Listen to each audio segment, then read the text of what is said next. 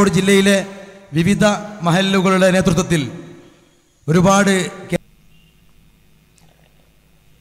ഈ സമ്മേളനത്തിന്റെ ആദരണീയനായ അധ്യക്ഷനും മറ്റ് വേദിയിലുള്ള വിശിഷ്ട വ്യക്തികളെ സദസ്സിലുള്ള പ്രിയപ്പെട്ടവരെ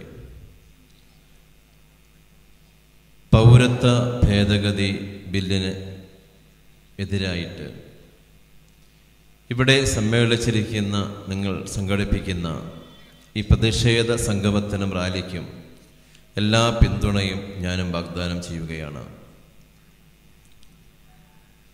നമുക്കെല്ലാവർക്കും അറിവുള്ളതുപോലെയും ഇതിനു മുൻപ് ഇവിടെ പ്രസംഗിച്ചവർ നമ്മോട് സൂചിപ്പിച്ചതുപോലെയും ഉള്ള ചില വലിയ പ്രതിസന്ധികളെക്കുറിച്ച് നമുക്കറിവുള്ളതാണ്. കേന്ദ്ര സർക്കാർ അംഗബലത്തിലും തന്ത്രബലത്തിലും ലോകസഭയും രാജ്യസഭയും അതിജീവിപ്പിച്ച പൗരത്വ ബിൽ ഏറെ വിവാദങ്ങളിലേക്കാണ് വഴുതി നീങ്ങുന്നത്. രാജ്യവ്യാപകമായിട്ട് ഇതിന്റെ അരക്ഷിതാവസ്ഥ നമുക്ക് കാണാൻ കഴിയുന്നുണ്ട്. പത്രമാധ്യമങ്ങളും മറ്റെല്ലാ മീഡിയകളും ഇത് ജനങ്ങളിലേക്ക് എത്തിക്കുന്നുമുണ്ട് നമുക്ക് അറിവുള്ളതുമാണല്ലോ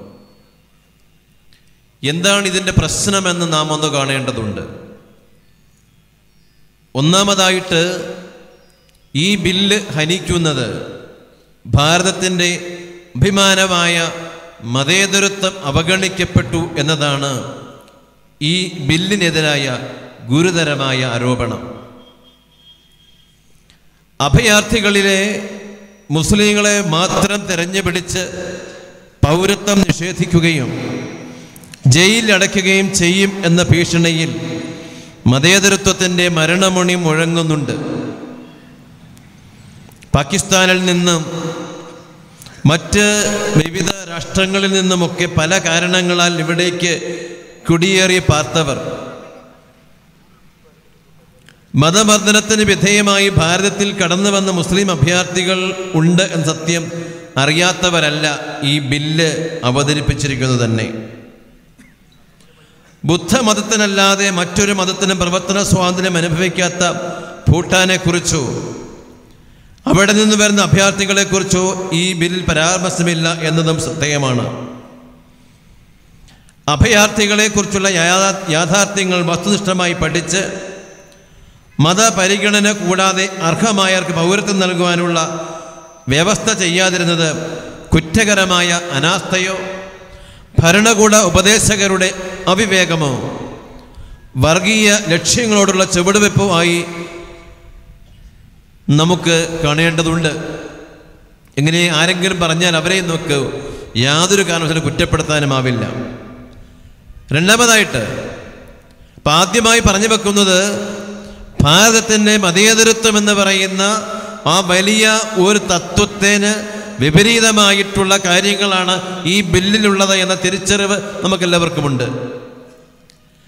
രണ്ടാമതായിട്ട് ഭരണഘടനയുടെ ആർട്ടിക്കിൾ ഫോർട്ടീൻ ഉറപ്പ് നൽകുന്ന സമത്വത്തിനുള്ള അവകാശം തുല്യരാണെന്നുള്ള അവകാശം ഈ ബില്ലിൽ മാനിക്കപ്പെടുന്നില്ല എന്ന കാര്യവും നമുക്ക് ഈ ബില്ലിലൂടെ മനസ്സിലാക്കാൻ കഴിയുന്നുണ്ട്.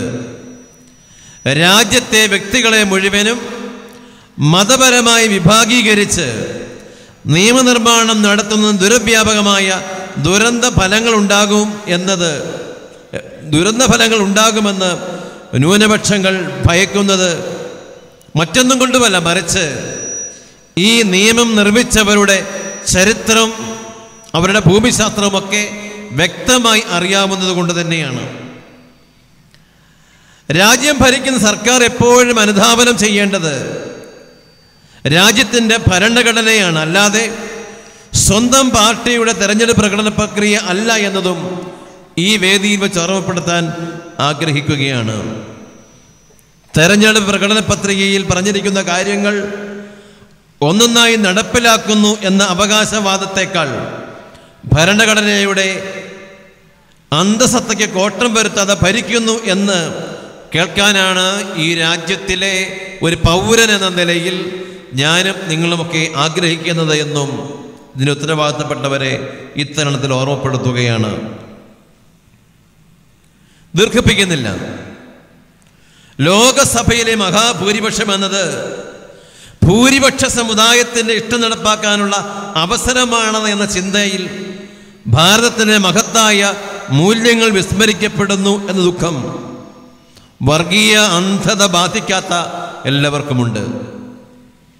എതിർപ്പിന്റെ സ്വരങ്ങളെ നമുക്കറിയാം ഈ കഴിഞ്ഞ നാളുകളിൽ എതിർത്തവരെയൊക്കെ ഏത് രീതിയിലാണ് വകവരുത്താൻ ശ്രമിച്ചത് എന്ന് പത്രമാധ്യമങ്ങളിലൂടെ നമുക്ക് അറിവുള്ളതാണ് എതിർപ്പിന്റെ സ്വരങ്ങളെ അത് വിദ്യാർത്ഥികളാണെങ്കിൽ പോലും അടിച്ചമർത്താനുള്ള ശ്രമം ഭരണകൂട ഭീകരത എന്ന ഒറ്റ വാക്കിൽ അപ്പുറത്തേക്ക് അല്ലെങ്കിൽ അതിനേക്കാൾ താത്ത വാക്ക് ഉപയോഗിച്ച് പറയാൻ പറ്റത്തില്ല.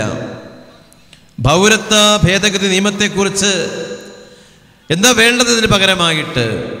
ഈ പൗരത്വ ഭേദഗതി നിയമത്തെക്കുറിച്ച് ആശങ്കയുള്ള എല്ലാ വ്യക്തികളുമായിട്ടും അടിസ്ഥാന തലം മുതൽ തുറന്ന ചർച്ചയ്ക്ക് ഗവൺമെന്റുകൾ തയ്യാറാവുകയും ഈ നാട്ടിലുള്ള എല്ലാ ജനങ്ങളുടെയും ഹൃദയത്തിലുള്ള മതേതരത്വവും സെക്യുലറിസവും സമാനതയും കാത്തുസൂക്ഷിക്കാൻ ഉറപ്പ് വരുത്തേണ്ടതും ഗവൺമെന്റിന്റെ ഉത്തരവാദിത്വം ആണ് എന്നുള്ളതും അതിൽ നിന്ന് വിഭിന്നമായ എല്ലാ ചിന്തകളും ഒരു ഗവൺമെന്റിന് യോജിച്ചതല്ല എന്നും അത് അപക്വമാണെന്നും സൂചിപ്പിക്കാൻ ഇത്തരണത് ഞാൻ ആഗ്രഹിക്കുകയാണ്. ദീർഘിപ്പിക്കുന്നില്ല പ്രിയപ്പെട്ടവരെ.